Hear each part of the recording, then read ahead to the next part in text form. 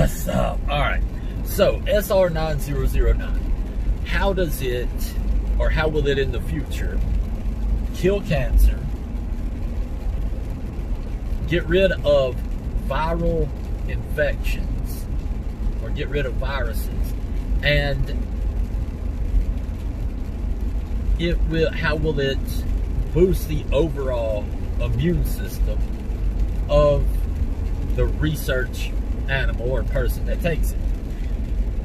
Think about it like this SR9009 is a unique compound in that they've been able to speed up the circadian rhythm of the body.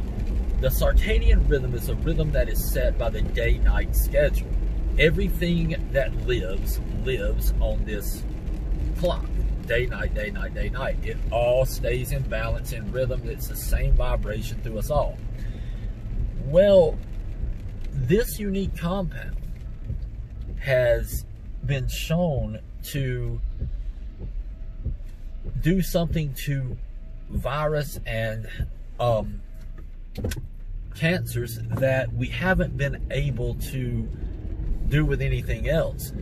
See, virus and cancers and really anything lives on its host like a parasite. The difference is, is this parasite literally uses your body and your um, system as the host to control its everything. It masks itself to look like your body in every way so that the immune system can't identify it. The immune system literally just says that's part of the body. So cancer is allowed to live. It's not attacked, killed, enveloped, and taken out of the system the way it's supposed to be. And viruses are there because the immune system can't identify them. What SR9009 does is it literally throws off this circadian rhythm therefore unshielding or unmasking the cancer or the virus to the rest of the body going, oh, look, that one doesn't adapt as quick as the rest of us. What the heck is that? And your immune system is then allowed to go in, kill it, get it out.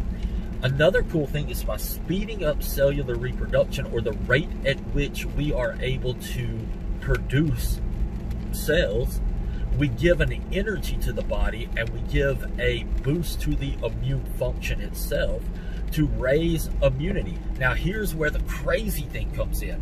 When given more energy and a better way of identifying outside foreign entities, autoimmune disorders are even corrected. You would think that when you boost killer T and macrophage activity in someone who has an autoimmune disorder that they would get worse.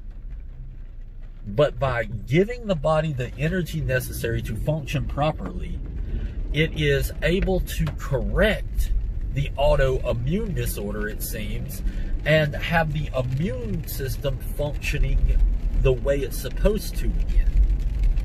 If that is not some of the coolest freaking like you talk about an amazing potential for a unique compound that one day may revolutionize the way that we allow our body to adapt and identify foreign entities to bless us with good health for much longer than we thought possible. That compound has the potential to do just that. Uh, remember, though, research chemicals are not for human consumption. They are not to be eaten. They're not to be snorted. They're not to be banged. They're not to be insulflated. They're not to be used uh, for procreation or recreation. They are only to be used by researchers in research facilities for research purposes in with research, or by your doctor's permission. Always consult your medical professional before using any type of research chemical and make sure that they monitor you frequently if you do. Therefore, you can stop if something bad happens. I'm not a doctor. I'm not a dentist. I'm not a lawyer. I did not sleep in a Motel 8 last night, and I do not claim to be any of that. The only thing that newsarms.com claims is what's on the bottle, on the label, is in the bottle. Beyond that, we claim no liability. So you can get research chemicals at newsarms.com. SR9009 being one of those, and that is some cool stuff. Anyway, thought y'all might want to know.